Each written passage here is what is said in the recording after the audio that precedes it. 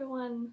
So today I wanted to talk about what it's really like to be a mom because I get asked so many times what it's really like to be one and the all the cliches and everything, what my regrets are, the difficulties, the fun parts, all of that stuff. So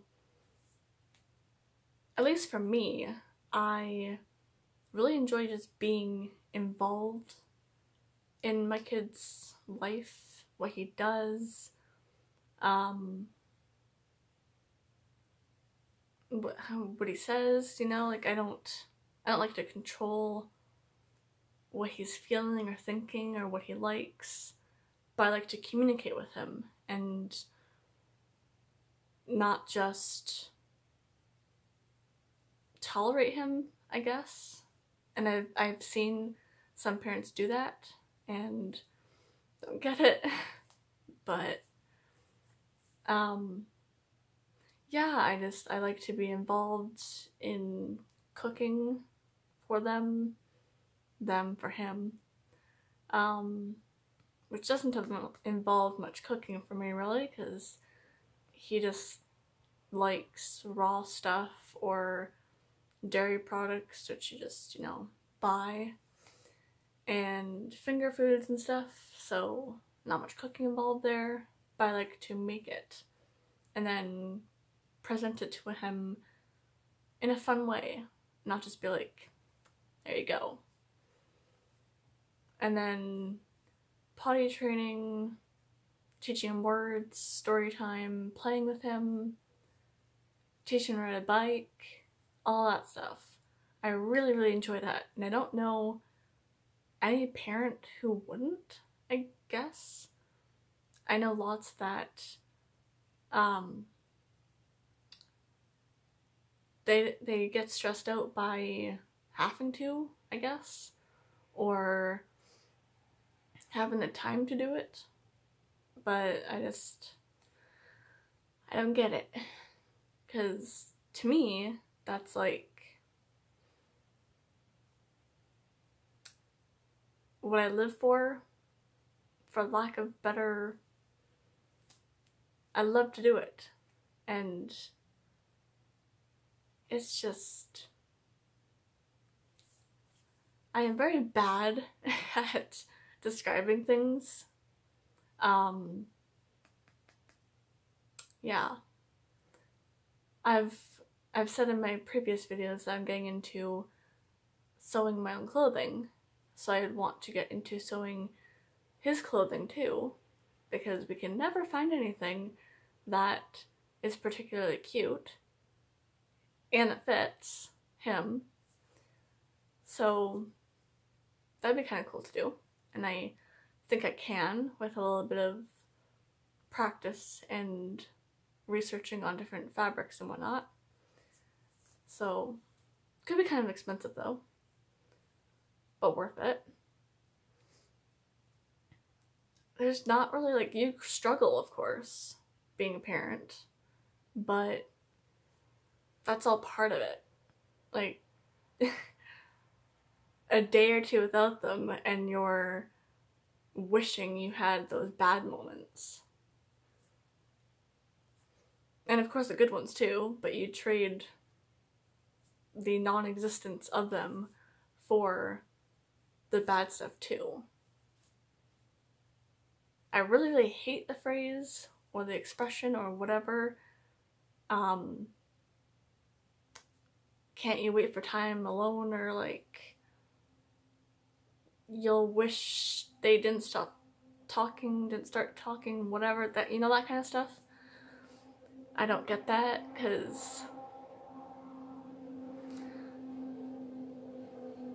I just want to communicate with him and learn all about him, what he likes further, um, what he thinks about, hold conversations with him.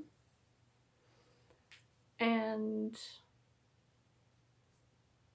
yeah, I just, when people say crap like, you're gonna wish they stop talking when they do start talking or they're more fun when they're like two to four or whatever. Like, no. They go through different phases and each one has its good things and bad things, but as they get older, you're gonna love that too. And you're gonna reminisce on the old stuff, but you're gonna love what's there as well. You're not gonna be like, oh, I missed that. Like, of course, you'll like miss it, but it won't be like, I wish you were back there, you know? It's not a thing. um, in your body for mothers. Like, it changes, obviously, but that's not a reason to not want to be a mother. And I've heard that, believe it or not. That people, females, don't want to be a biological mother because it'll ruin their body. And it'll ruin it, I guess. But you'll grow to like your other body. Or maybe you won't. And you'll just learn to live with it or like and do work to it, I guess. But all in all, if you really want to be mum, that shouldn't be a, a stopper for you. What's another one? Tantrums. They are terrible. Like, some are like okay, but others are like, holy crap. But again, you go half an hour, an hour without them, and you'd be, you want that back. So, I mean, there's pros and cons of having children all across the board, obviously. But I just don't understand the people that what is a word or they say crap like you're gonna miss this or that's a bad thing or don't you wish they didn't do this or whatever and of course in the moment of it happening you may not be too great with it but if that's all you had you would want it back. And also school. That's a big one that I almost forgot about. Of course, people put their kids in school, right? Or they homeschool, but typically they put them in school. I don't know a good parent that isn't involved with their kids' schoolwork, homework. Ask them how their day went. Makes them lunch or involves them with the process of making their lunch, you know, stuff. It's not like a chore, it's fulfilling to be involved with your kid's life. And that's youth, like little kid school, elementary, and secondary and college. Of course, not gonna be like all the same types of stuff like elementary into college, but you're still going to be involved and asking how it went and, you know, being, knowing what your kid's doing. I guess that's kind of what I just wanted to say in a nutshell, and I was very bad at it, was